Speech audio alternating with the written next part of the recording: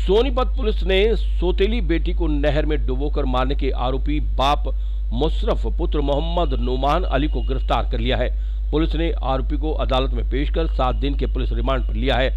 Police को दूसरे दिन नहर से मासूम का शव नहीं मिल पाया। पुलिस मासूम के शव को ढूँढने के लिए लगातार प्रयास कर रही है।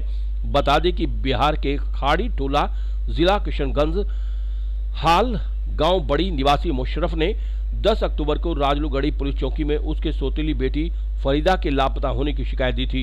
इस पर पुलिस ने फरीदा के गुमशुदगी का मामला दर्ज कर जाँच शुरू कर दी थी।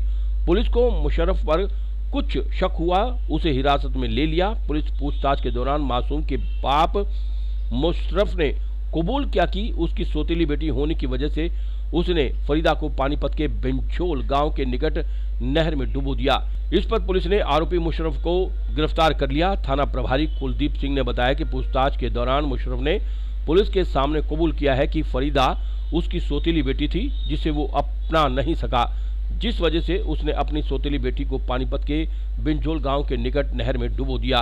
इस पर पुलिस ने आरोपी मुशरफ को गिरफ़्तार कर अदालत में पेश कर सात दिन के पुलिस रिमांड पर लिया है। जो बड़ी में जो ये लड़की मारने का जो मामला है आपकी लड़की थी कैसे क्या हुआ? है ये मेरी सोतेली उनकी सोतेली लड़की थी। जी। सोतेली तो लड़की थी तो कितने दिन से ये आप इनके साथ रह रहे हो लड़की साथ को तो साथ? आने का डेढ़ ही महीना हुआ। डेढ़ महीने हुआ? जी। तो उसके बाद क्या हुआ जी? डेढ़ महीना हुआ तो वो तो अच्छा से रख रहे थे। अच्छा से रख रहे थे तो आठ तारीख को बोल रहे हैं मेरी तबीयत खराब है सर्दी बुखार हो गई मुझे हम काम पे नहीं जाएँगे। ठीक है, नहीं जाओगे तो तुम घर पे रह जाओ, दोनों बच्चे को लेके रह रहो, लेके रह जाओ। और हम, हमारे भतीजा हम काम पे निकल गए। हम तो गए सात चालीस पे, वो गए सात बजे काम पे। तो वो बोल रहे मुझे खाना दे दो। हम उसे खाना दे दिए। हम अपने टिप्पन में खाना ले लिए। तो बोले खा लो। हम बोले, नहीं खाएँगे। तो वो बोले तो हाँ तू चली जा काम पे। तीन दफ़ा बोले, तू चली जा काम पे, चली जा काम पे। हम बोले हाँ ठीक है, हम काम पे चली गए, टिफन में खाना ले लिए, वहाँ जाके हम खा लेंगे। बस फिर लौट के आ रहे घर। साढ़े छः बजे वहाँ से कंपनी से निकल, छुट्टी हुआ साढ़े छः बजे हमारे। आते आते पौने सात बज गए। सात या पौने सात बज गए आते आते। तो बच्चा हमारे जो गेट है ना, गेट के पास खड़ा है। तो हम बोल रहे, अरे बच्चे कहाँ? तो बोले पापा गोद में ले गए। तो हम विश्वास नहीं किए इनकी बात। फिर आके अंदर एक लेडीज़ को पूछ रहे दीदी हमारे बच्चे कहाँ?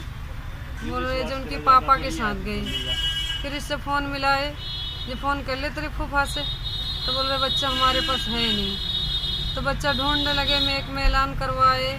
फिर वहाँ सरपंच को जाके बोले वही फिर साथ में लेके चार दिन मुझे हैरान करवाया। पता ना दिल्ली सोनीपत कहाँ कहाँ ढूंढ के आए। फिर जबकि पुलिस पुलिस वालों से जबकि वो पकड़ के लाए उनको तो अपने आप खुद ही बोल दिया जब हम पानी में डाल दिए।